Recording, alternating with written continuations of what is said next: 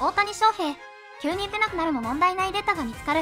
ドジャースの大谷翔平が本拠地でのフィリーズ戦に1番 DH で先発出場。5打数無安打で2試合連続ノーヒットに終わりチームも連敗を喫した。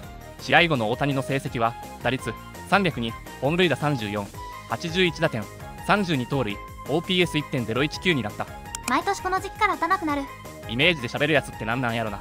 大谷翔平8月成績2023316 5本塁打14打点 OPS1.004 2022 317 8本塁打20打点 OPS1.039 問題なさそうやな。どっちも投資しててこの数字だもんな。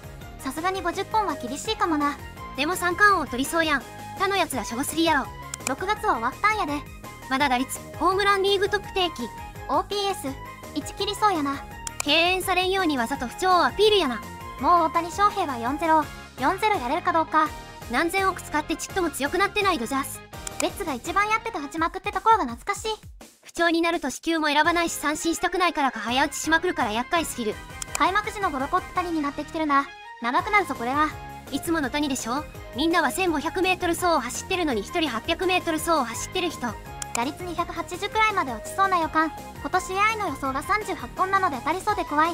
この日は守備妨害への抗議でロバーツも退場しちゃったな。なんで？難しい処理のファインプレーだったのに今日は球審以外の審判ひどすぎん。